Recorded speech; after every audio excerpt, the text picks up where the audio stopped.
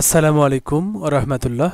প্রিয় বন্ধুরা, ক্লাস সেভেনের ইংলিশের unit four, lesson four point one one বা eleven, page number thirty nine. আমরা এখানে দেখছি যে বলেছে, নাও, এখন ড্র আ পিকচার। এখন তোমরা একটু আর্ট করো বা ছবি আঁকাও, ড্রয়িং করো, পেইন্টিং করো, ছবি আঁকাও। কিসের ছবি?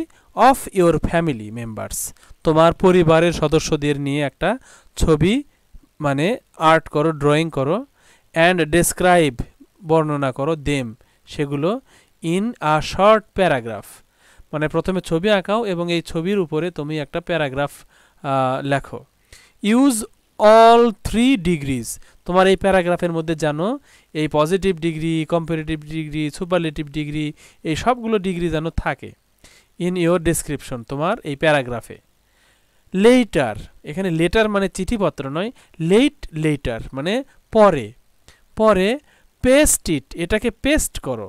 মানে আঠা দিয়ে বা মানে কোনো কিছু দিয়ে এটাকে লাগিয়ে দাও অন দ্য ওয়াল ওয়ালে মানে সেটা হতে পারে আঠা দিয়ে লাগানো অথবা স্কচ টেপ দিয়ে লাগানো। তোমরা এইটাকে পেস্ট করে দাও, লাগিয়ে দাও অন দ্য ওয়াল ওয়ালে অ্যান্ড এবং ইনভাইট ইনভাইট করো, আমন্ত্রণ করো মানে নিমন্ত্রণ করো your friends to read it এবং তোমার ফ্রেন্ডদেরকে বন্ধুদেরকে এইটা পড়ার জন্য ইনভাইট করো। এখন আমরা এখানে যে ছবিগুলো দেখছি, তোমরা এই রকম ছবি আঁকতে পারো, যে একটা বাবা থাকবে, একটা মা থাকবে, তারপরে একটা ছোট মানে ছোট দুটো বাচ্চা থাকবে। অথবা ছোট একটা বাচ্চা দিবে, কোনো কোনো ফ্যামিলিতে তিনজন থাকে, কোনো কোনো ফ্যামিলিতে চারজন। তোমরা এরকম ছবি আঁকতে পারো। অথবা এরকম করে তিনজনের একটা মনে করো যে ছবি তোমরা ড্রয়িং করতে পারো। তোমরা এখান থেকে আইডিয়া নিতে পারো যে এরকমও তোমরা আঁকতে পারো। অথবা যদি মনে করো যে আমরা শুধুমাত্র সাদা মাটা করে আঁকবো, তাহলে এইরকম নয়। আমরা একদম সহজে আঁকবো এইরকম করে আমরা পেন্সিল দিয়ে এইরকম করে সহজেই আঁকতে পারি। এই ছবিগুলো কিন্তু একদম খুব সহজেই আঁকা যায়। গোল করে দিলে মাথা হয়ে গেল, তারপরে দুটা ফোঁটা দিলে চোখ হয়ে গেল, এখানে তিন কোণা দিলে মুখ হয়ে গেল। এখানে দেখো চুলের একটা ডিজাইন করেছে। এইরকম করে তোমরা সহজেই কিন্তু এই ছবিটা আঁকতে পারো। আর এই ছবিটা কিন্তু আঁকা অনেক একটু কঠিন হবে, কারণ এটাতে রঙের অনেক ব্যবহার আছে। কোথাও রং দেখো গাঢ়, তারপরে দেখো একটু ডিপ, তার চেয়ে ডিপ কোথাও হালকা রং।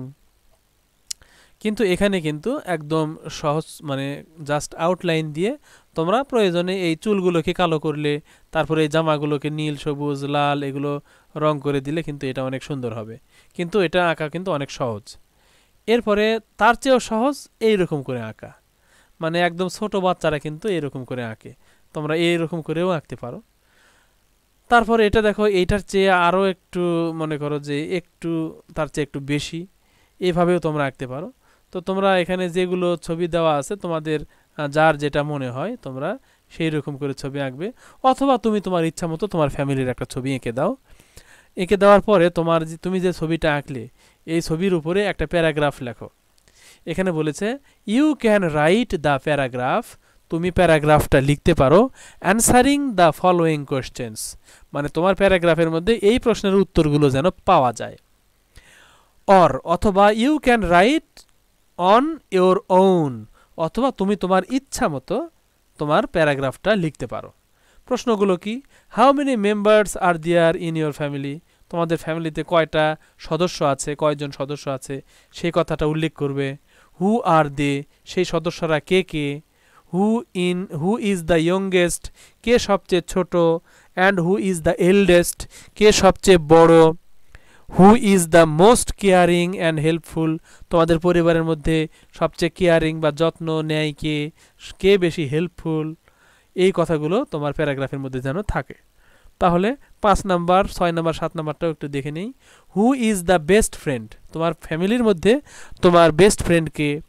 And who is not as friendly as মানে কে তোমার কাছে ফ্রেন্ডলি নয় তার মতো। তার মানে তোমাদের পরিবারে কিন্তু মানে সবার পরিবারেই একজন কিন্তু ঘনিষ্ঠ বেশি থাকে। সেটা মা হতে পারে বা বাবা হতে পারে।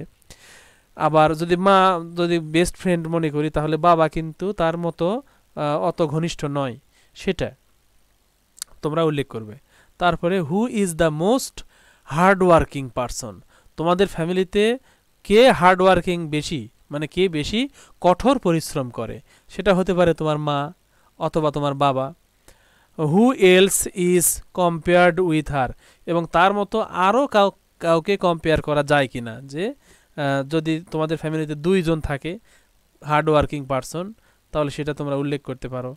তারপরে what do you love most তুমি কাকে সবচেয়ে বেশি ভালোবাসো অ্যাবাউট ইওর ফ্যামিলি তাহলে তোমার পরিবার সম্পর্কে। আচ্ছা তাহলে তোমার এই সব প্রশ্নের উত্তর দিয়ে একটা প্যারাগ্রাফ যদি লেখো, তাহলে তোমরা এরকম লিখতে পারো, একটা হেডলাইন দিবে, আওয়ার ফ্যামিলি দিয়ে নিচে একটা আন্ডারলাইন করবে এবং এটা মাঝখানে লিখবে, এরকম ডানে বা বামে চেপে নয় মানে মিডল অ্যালাইনমেন্ট করবে। তারপরে এরকম লিখতে পারো যে, the group of the nearest and dearest persons মানে নিয়ারেস্ট মানে নিকট নিকটতম, নিকটের লোক কাছের লোক অ্যান্ড ডিয়ারেস্ট মানে সবচেয়ে প্রিয়জন। তাহলে নিকটজন এবং প্রিয়জনদের যে গ্রুপ যে দল, সেটাকে বলা হয় মানে যেখানে উইথ ফাদার সেখানে যেখানে বাবা থাকবে মাদার সিস্টার ব্রাদার এটসেট্রা এগুলো যেখানে থাকে ইজ কল্ড আ ফ্যামিলি এই গ্রুপকে বলা হবে ফ্যামিলি বলা হবে। I live in a family আমি একটা ফ্যামিলিতে বাস করি, পরিবারে বাস করি। There are four members in our family আমাদের পরিবারে চারজন সদস্য আছে। এই যে দেখো, এখানে কিন্তু আমরা এই কোশ্চেনের অ্যান্সার পেয়ে গেলাম। এই যে এক নাম্বারের হু আর দে সেটা কিন্তু আমরা এরপরেই পেয়ে যাব।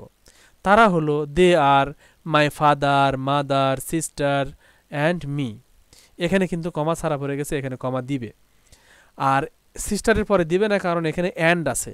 অ্যান্ডের আগে কমা দেওয়ার প্রয়োজন হয় না।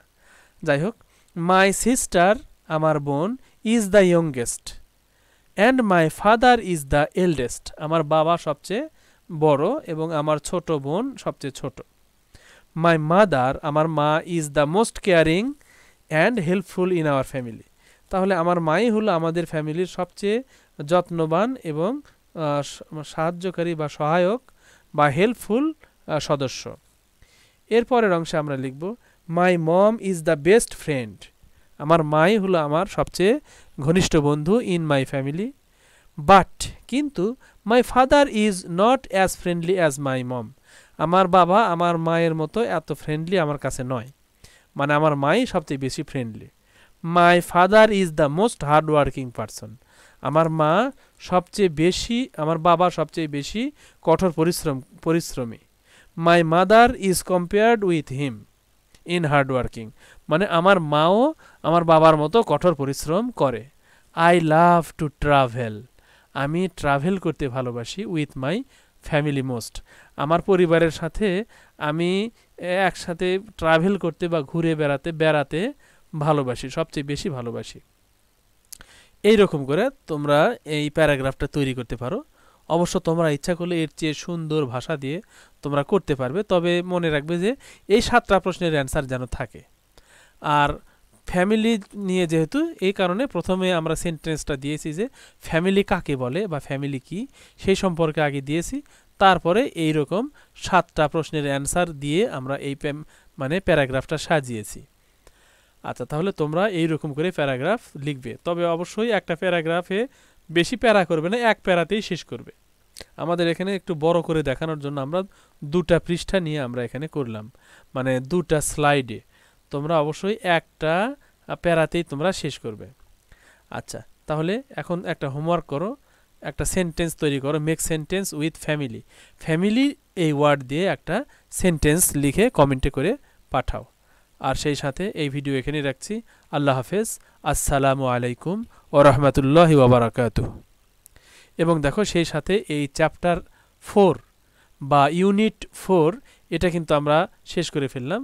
তাহলে আমরা এখন ইউনিট ফোরকে গুড বাই জানাচ্ছি এবং ইউনিট ফাইভকে আমরা এখনই ওয়েলকাম জানাই। আমরা শীঘ্রই ইউনিট ফাইভ আমরা শুরু করব বা চ্যাপ্টার ফাইভ শুরু করব। তোমরা অবশ্যই ভিডিওগুলো দেখবে কারণ আমি আশা রাখি যে তোমরা যদি ভিডিওগুলো দেখো অন্ততপক্ষে ওয়ান আওয়ার টাইম একটা ঘণ্টা সময়, তাহলে তোমরা অবশ্যই ইংলিশে ভালো করতে পারবে।